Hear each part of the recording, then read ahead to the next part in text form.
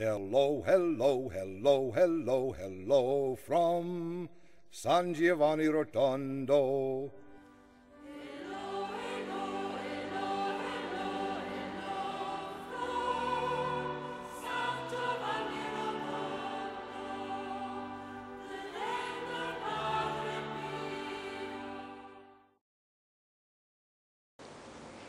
I wanted to have a very special place for us to pray the nine-day novena to Padre Pio. And I had chosen the private chapel here in the convento, the friary of Santa Maria delle Grazie, where Padre Pio celebrated Mass for two years when he was not allowed to say Mass in public. Uh, This reads, This is the altar that Padre Pio celebrated the Holy Mass for two years. June 11th, 1931 through July 16th, 1933.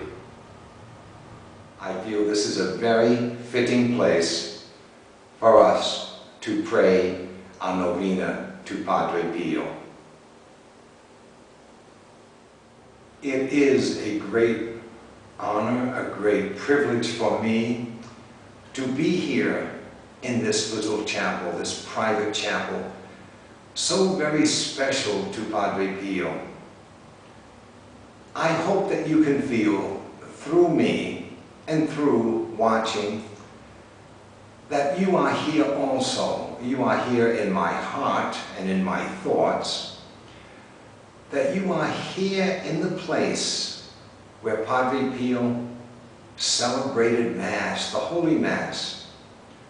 You know he was connected with our Lord Jesus Christ during the sacrifice of the Mass. Padre Pio offered himself up as a victim. He was united with Christ in the crucifixion. And here we are in this very, very holy place. Take a moment and realize that these walls, as they say, if these walls could only talk, but take a moment and think of the many prayers that Padre Pio offered here, the many times that he lifted the Eucharist up to God, the times that he lifted the blood of Christ in the chalice as he lifted it up to God. It is truly a very special honor for all of us to be here because this was a place that Padre Pio spent hour upon hour in prayer and meditation. And to be able to bring this to you is truly a gift from God and from Padre Pio to allow me to do this. Myself, being here in this chapel, I feel the presence of Padre Pio. Padre Pio is in my heart at this very moment. He is in my heart always. But a very strong, strong feeling that Padre Pio is right here with us.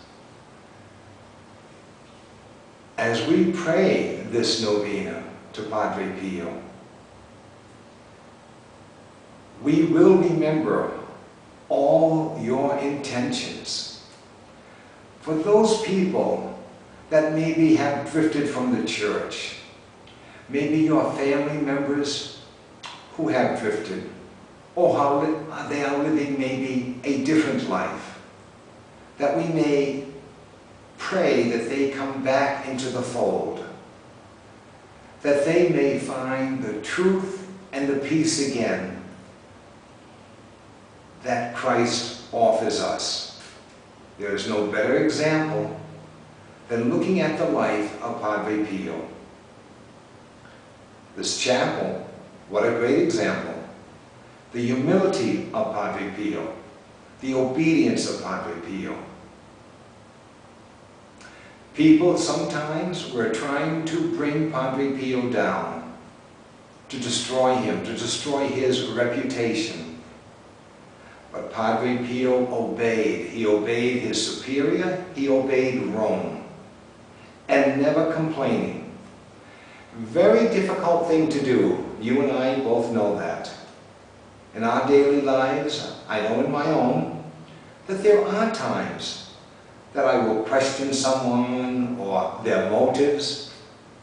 Not Padre Pio. Padre Pio accepted what his superior said. He accepted what Rome, what the Vatican said. He was obedient to God. He followed the word of the gospel. So, being here in this chapel, let us really embrace this opportunity to ask of Padre Pio to help us, to be within us always, to guide us along the way.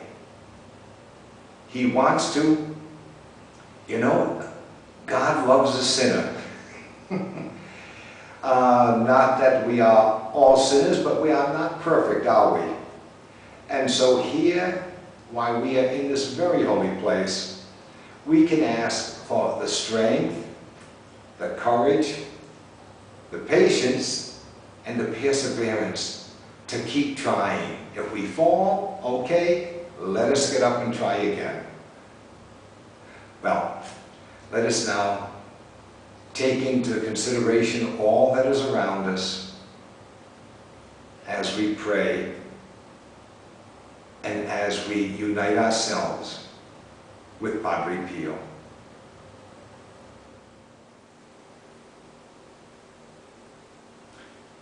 Please join me in the novena to Padre Pio. In the name of the Father, and the Son, and the Holy Spirit, amen.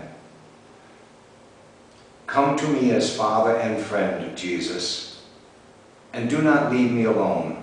Lord, abide with me. I am just a pilgrim, wandering in a world enveloped by darkness. Bestow on me your light and your grace. Lord, abide with me. In this precious moment, embrace me. Let this union between us last forever. Lord, abide with me. Accompany me along life's journey. I need your presence. Without you, I become faint and fall, Lord. Abide with me. Evening is coming, and I am racing like a river towards the deep sea of death. Lord, abide with me.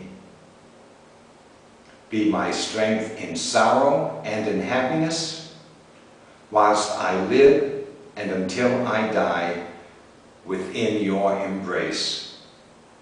Lord, abide with me. The first day of the novena to Saint Pio of Pietrelcina. O glorious and holy Padre Pio, we are at your feet. Turn your gaze to us. We are devoted to you. We admire your life and follow your teachings, and have experienced the power of your intercession.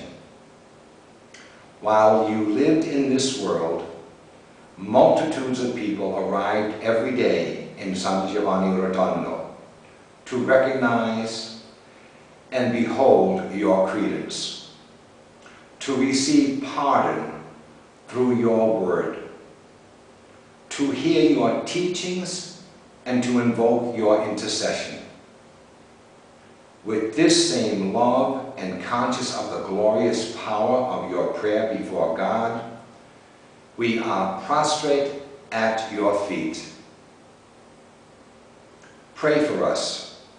We entrust ourselves to you, certain that you will obtain for us from God the graces of which we are in need. We ask this in the name of Christ our Lord. Amen. Please now offer your intentions.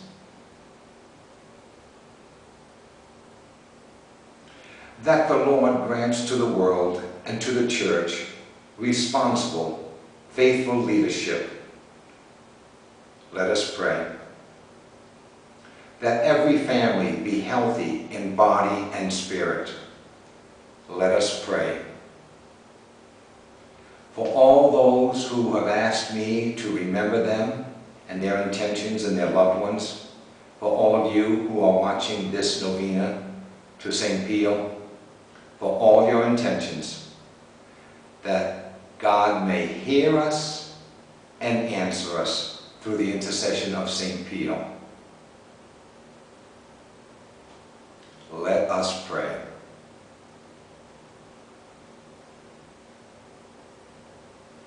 Padre Pio always interceded through our Blessed Mother. Let us say now the Hail Mary. Hail Mary, full of grace, the Lord is with thee. Blessed are you among women, and blessed is the fruit of thy womb, Jesus. Holy Mary, Mother of God, pray for us sinners now and at the hour of our death. Amen. Our Lady of Grace, pray for us. Saint Pio, pray for us. In the name of the Father, and the Son, and the Holy Spirit, amen. Let us just ask St. Pio to be with us in our lives, to help us and guide us along this very difficult road of life.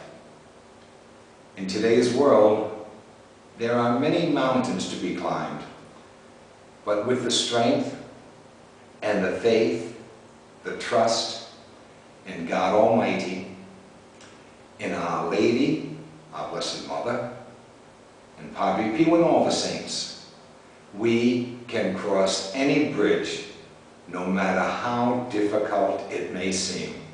We can climb any mountain, no matter how high or rocky it may be, we will reach the summit. Let Padre Pio come into our hearts and help us with our daily needs. Join us tomorrow for day two of the novena to St. Pio of Pietrelcina.